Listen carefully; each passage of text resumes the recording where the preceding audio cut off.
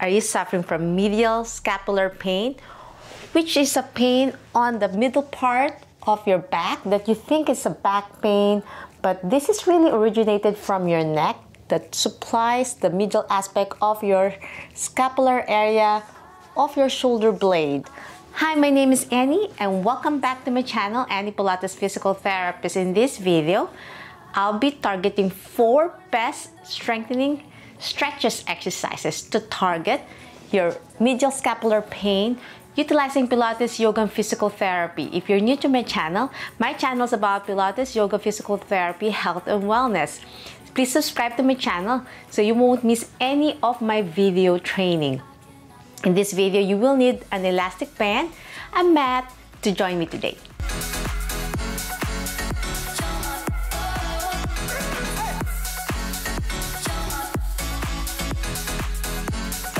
Discuss about medial scapular pain. It's really common, especially if you have forward rounded head and shoulder posture. And sometimes with weakness on your core muscles, it creates this forward posture without the support on your core muscles.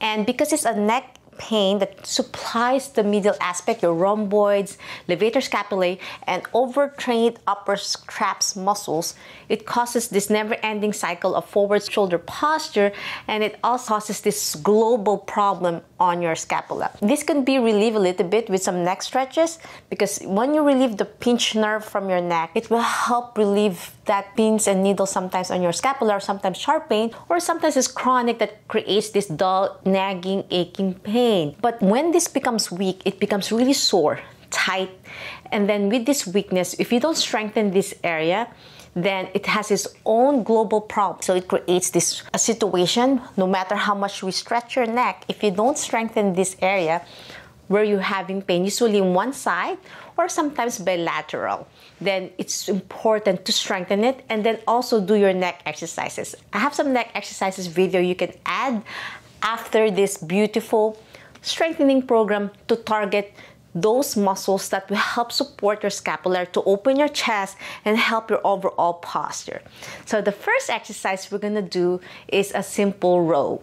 So you can do this by utilizing an elastic band, tie it on the doorknob, and you're gonna do some row exercises. You can start with one band or double band depends on your strength level. And you can also do this in seated position with your knees bent for those with tight knees or tight hamstrings. And you're gonna place it around the arches of your feet. And with the rows, you wanna make sure your back is straight, core engaged. And when you're gonna pull it, you wanna make sure it's not an arm exercise, not a shoulder exercise, but a back upper back exercise targeting your scapula. So when you start pulling the band with your hands grip on it, you want to make sure you pull through your shoulder first. So if it's your right side only, you can do one unilateral. So as you pull, you can place it on your right foot. If it's your right shoulder, if you have right scapular pain, place the band on the arch of your foot and you're gonna keep your thumb up, elbows level to your hip, shoulder back. You're gonna start pulling with your back, scapular engage first before you gently pull it. So you wanna make sure the elbows behind your back and hold it for five seconds. Hold as you inhale and then exhale, release. Slow and steady. This is not a strengthening just to keep building muscle, but to help awareness, proprioception on your back. Again, you're gonna scapular pull so shoulder back, opening your chest and pull. Keeping your neck, chin tuck, protect your neck. Core engaged, pull your belly button to your spine and then pull back. Again, inhale, pull back, elbow behind you. And then as you progress, you want to pull back with a little bit rotation, turning your neck now. Because I said this is a neck situation as well if you have mid-scapular pain and look behind your shoulder and back. Pull and turn. Your eye gaze behind your shoulder. And then you can progress with your knees bent again both and do both. If you want to strengthen the other side, do that 10 repetitions, 5 seconds hold, slowly build up to 10 seconds hold. And if you want to target the other side as well, you can if you want to keep it balanced and stable on your postural muscles. So after doing rows, then we're gonna do some arm skydive, which means you're gonna lie on your stomach. If you have problem on your back, be careful when you lie on your stomach. And through gravity, you're gonna be against gravity lying on your stomach. With your elbow straight, you wanna make sure you're not hiking your shoulder towards your ear. You wanna pull it down, reaching down to your foot. You can place one hand in front of you to rest your neck because it's a neck condition as well. So you're gonna reach down to your ankle. So I'm reaching down with my thumb down, pointing down, and as I reach down towards my foot, I'm slowly lifting my hand behind my back. So I'm reaching back and really engaging my scapular muscles.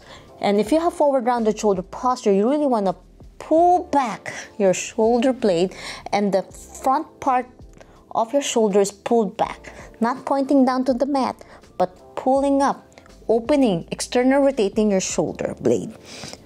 So you're external rotating your shoulder, and then your shoulder blade is engaged, and you're gonna feel it on that mid back area where you have pain. Again, reach down and then lift. As you pull back, you're gonna slowly external rotate. Your thumb is slowly opening towards to the ceiling. And inhale, hold it for five, four, three, two, one, and exhale and do that 10 repetitions.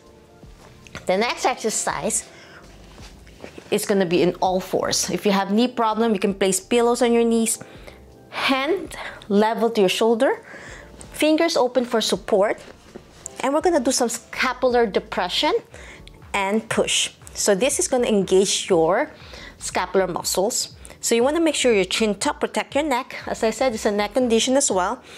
And you're gonna slowly press down to the mat. So this is against gravity, so it's a little bit difficult. And you want to push and really elongating that scapular as a gentle stretch as you inhale and then exhale, slowly lowering your chest down, keeping your elbows straight. And then squeezing that scapula, contract, relax. So it's like you're contracting the area. And then exhale, push, push, push, push. I'm lifting, inhale, squeezing your core in for core engagement, and then exhale, down, Make sure your knees level to your hip and your core is engaged. Again, press. I'm really elongating, chin tuck, retract your neck. And then exhale, push, push, push. Feel that scapular, your medial scapular area, you're squeezing it together. And then press. It's like a cat and camel, but keeping your neck retracted. So my neck muscles are also engaging.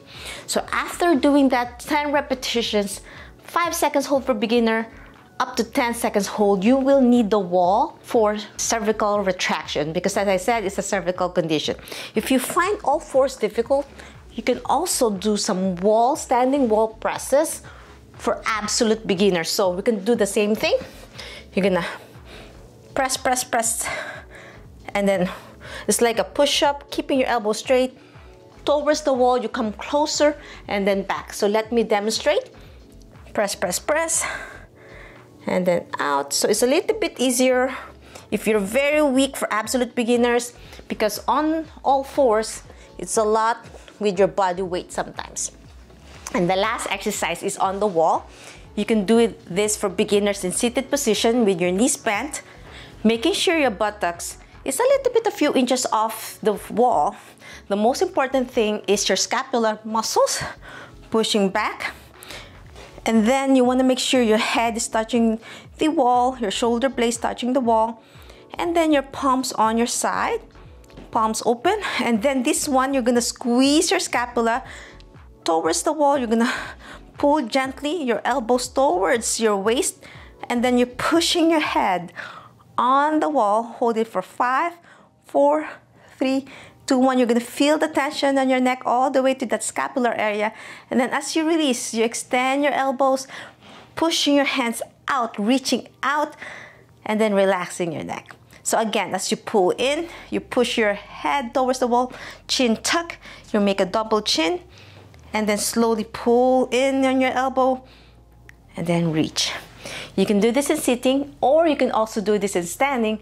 But when you're standing, your buttock should be on the wall and your heel at the back of your feet is a few inches off the wall. So when you do this in standing, make two to three inches off the wall and then your head is touching and your buttocks is touching as well.